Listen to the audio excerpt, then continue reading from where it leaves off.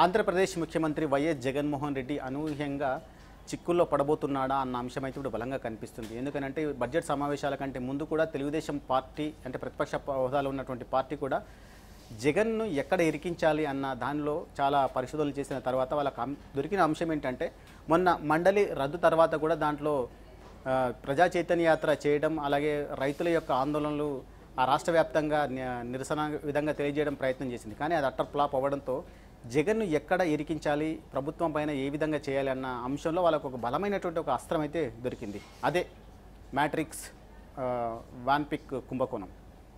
సరే ఇప్పటికే ఈ కేసు గురించి దర్యాప్తు అయితే జరుగుతూనే కొనసాగుతూ ఉంది. దీనికి సంబంధించి ప్రధాన నిందితుడు అయినటువంటి నిమ్మగడ్డ ప్రసాద్ ప్రముఖ వ్యాపారవేత్త నిర్మాత ప్రముఖ మీడియా ఛానల్లో కూడా ఆయన ఒక భాగస్వామి. సో ఆయన మొన్న ఈ మధ్యనే సెర్బియాలో అరెస్ట్ అవ్వడం కూడా జరిగింది. ప్రధానంగా ఆయన సెర్బియాకు వెళ్ళడం ఎందుకు? అక్కడ ఇప్పటికే దాదాపు రెండు వేల పదహారులో సెప్టెంబర్ ఐదున సెర్బియా ఇంటర్పోల్ అధికారులు అయితే ఆయన మీద ఒక నిఘానం పెట్టడం జరిగింది.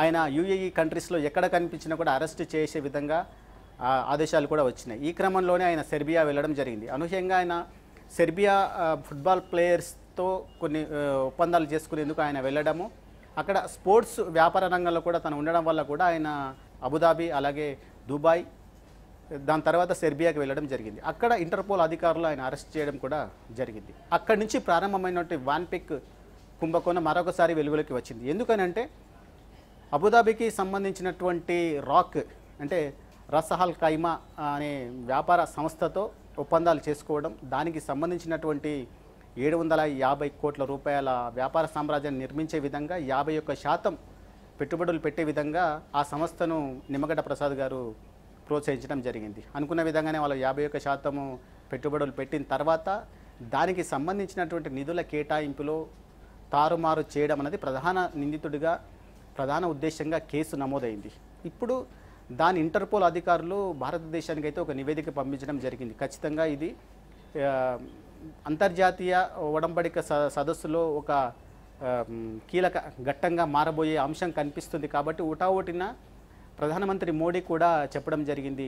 దీనిపైన మీరు త్వర త్వరగా మీ ఉద్దేశం ఏంటో చెప్పండి అని కూడా ఆయన చెప్పడం జరిగింది. దీనికి సంబంధించి నిమ్మగడ్డ ప్రసాద్ అక్కడికి వెళ్ళడం అక్కడ ఆయన సెర్బియా వెళ్ళి అక్కడ స్పోర్ట్స్ అథారిటీతో మాట్లాడుతున్న సమయంలో ఆయన అరెస్ట్ కావడం జరిగింది. సార్ బ్యాక్గ్రౌండ్ స్టోరీ ఎంత జరిగినా కూడా ఆయన అరెస్ట్ అన్నది మాత్రం ఒక వ్యూహాత్మకంగా జరిగిన అంశం అయితే ఖచ్చితంగా కనిపిస్తుంది.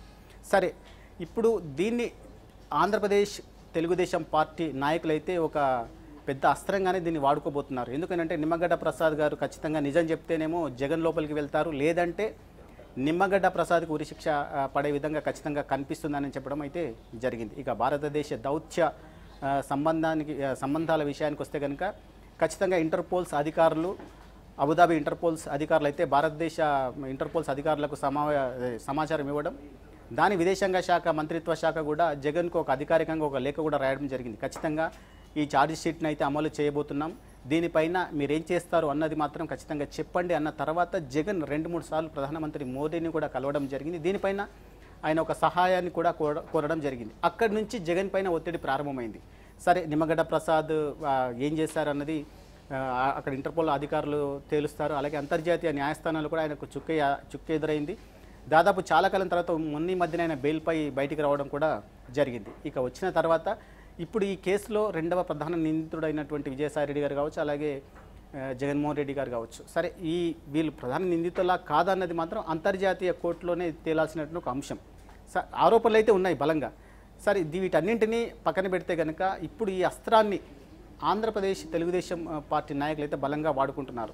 ఒకవేళ ఇదే కనుక జరిగితే బీజేపీతో ఇన్నేళ్ళ పాటు ఆయన చాలా సఖ్యతగా స్నేహపూర్వకంగా మెలిగినటువంటి వైఎస్ఆర్సీపీ పార్టీ నాయకుడు జగన్మోహన్ రెడ్డికి ఏ విధంగా సహాయం అందుతుందా లేదంటే సహాయ నిరాకరణ ప్రకటించే అవకాశం ఉందన్నది కూడా ఒక చర్చనీయాంశంగా మారిపోయింది. ఇప్పుడున్నటువంటి ఇన్ని సందిగ్ధాల నడుమ ఇన్ని ప్రాబ్లమ్స్ మధ్యలో ఆయన అటు రాష్ట్ర పరిపాలన చేయించ చేయడం అలాగే ఇట్లా బడ్జెట్ సమావేశాలు నిర్వహించడం అలాగే దేశవ్యాప్తంగా ఉన్నటువంటి సిఏ బిల్లు కావచ్చు ఎన్ఆర్సీ బిల్లు కావచ్చు వీటిపైన ఎట్లాంటి స్టాండ్ తీసుకుంటాడు? సొంత పార్టీలోనే ఒక కుల ఆధిపత్యాన్ని కూడా ఎట్లా సమన్వయం చేసుకుంటూ ముందుకెళ్తారు?